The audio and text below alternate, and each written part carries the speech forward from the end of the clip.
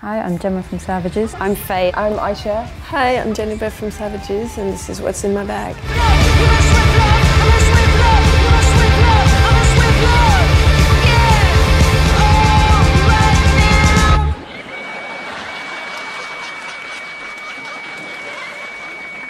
I see that you're holding Run the Jewels in your hands. Did you happen to see them on Saturday? Do you know what? That was the reason why I picked it up. Yeah, I saw them and I really enjoyed it. I thought they were brilliant. I'd heard a few tracks off the record and really, really enjoyed it. So I went to see them at FYF and then oh, I was sold, yeah. I love that track title. Close your eyes and count to fuck. Blankets and pillow torching. Where the fuck the warden? And when you find them, we don't kill them, we just waterboard them. So I've got this guy, one of the best records of all time. One of my favourite records when I was at school. I don't have it on vinyl. The creepiness inside me, I think, came from that. Listening to Richard D. James.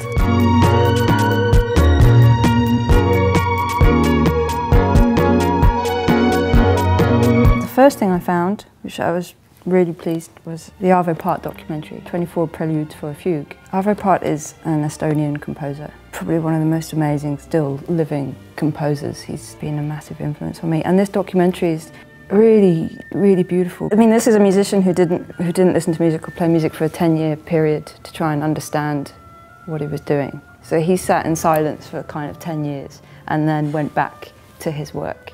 He talks about every single note having its own character and having a relationship with another note. And he has a piece called Für Elise, where he's talking to these students and he's talking about each melody with its character and how it interacts. He's a very honest, real composer artist, and it's an awesome documentary.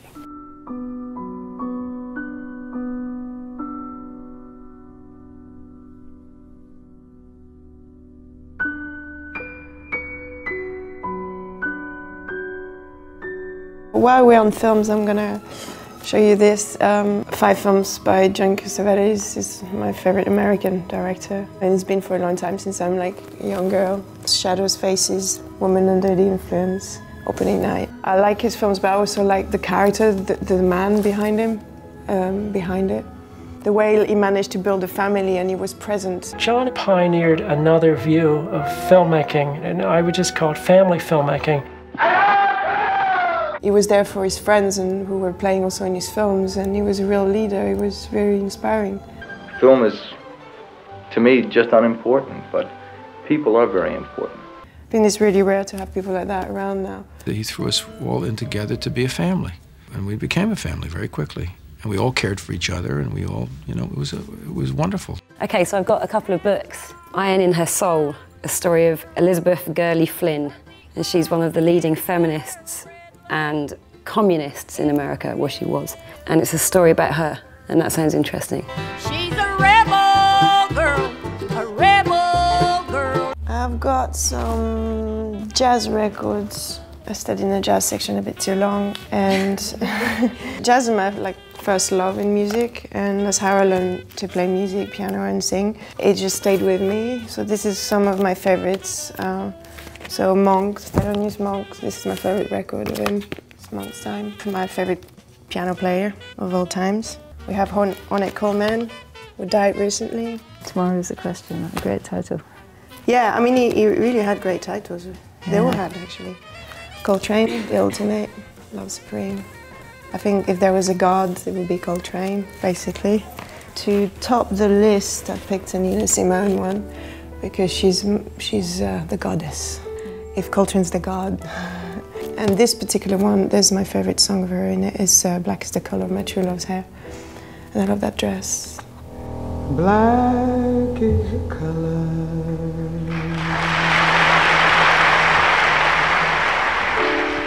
Got two of the same artist, and it's um, Chelsea Wolfe. And this is her record, this that has just come out.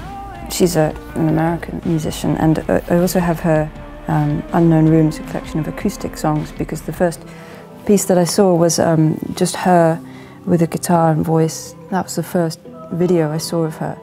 And it's very dark and very strange and very, very strong. Completely her own thing, her own world. And I've been listening to the songs that have been slowly released from this new record, and they're, you know, kind of doom, kind of very, very heavy things, but um, just looking into all her musicians and to her writing and everything, she's just really, um, yeah, really impressive.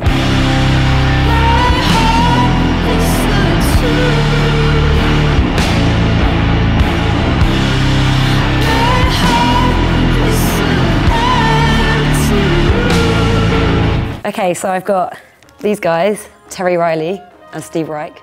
Again, childhood favourites. I love that cover, look at him. He's such a lovely dude.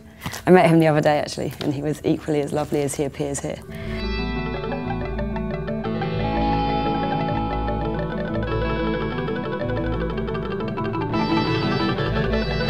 The book it shows is Crumb's sex obsessions. I really like Cram and I really like his drawings of women. He's a man who was obsessed by big butts, like I am. There you go, you have a few. And he lives in France now actually. There's a really good documentary about his life. He always represented himself sitting on top of butts of women. So it's like a calipish piece of reading, which is really good.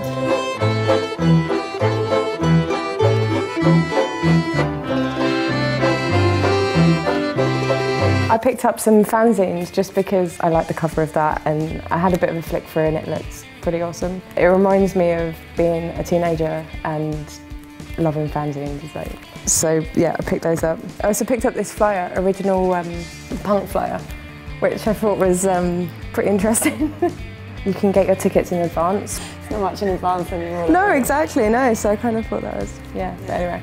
A book about um, selected writings about love and death, which we're all closely connected to, I guess. So I thought that was um, something interesting to read.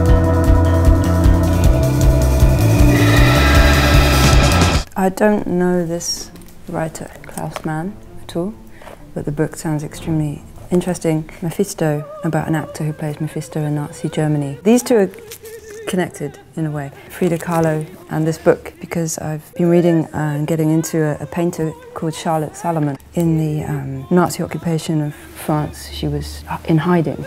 In a year, basically the last year of her life, and she, she knew she couldn't escape from France. And uh, she painted 750 paintings about her life in one year. And it was all based on her family history, which was very dark because most of the women in her family committed suicide. She always played with whether she should commit suicide or she should make this work. And she put everything into this work to try and understand her family and the situation she was in, which was pretty dire. She reminded me very much of Frida Kahlo and, and kind of the painting of her life and understanding herself, but also of the idea of artists in very dire situations that can only follow their art to try and explain their situation.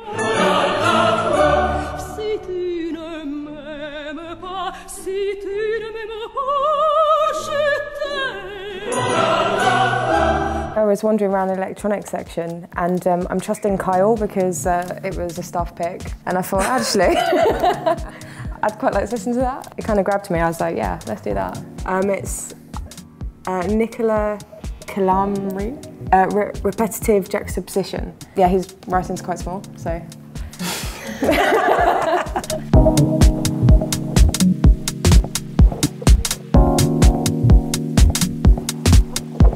Steel band, Gemma's favourite. I love steel band. I used to play in a steel band. Yeah, I was like one of these guys. I played Mm, that one. Yeah, it's cool. With my dad as well. It was really cool. Really, really big moment for me.